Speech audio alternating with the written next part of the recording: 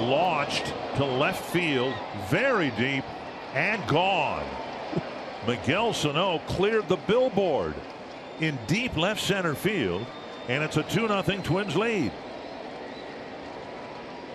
Hanging breaking balls go a long way, and this ball went a long way. Those people up on top of monster seats are thinking maybe we got a shot at a home run ball, but they never imagined—I don't think a ball would actually go over their heads in that spot of the ballpark. But I was just thinking to myself, where would that ball?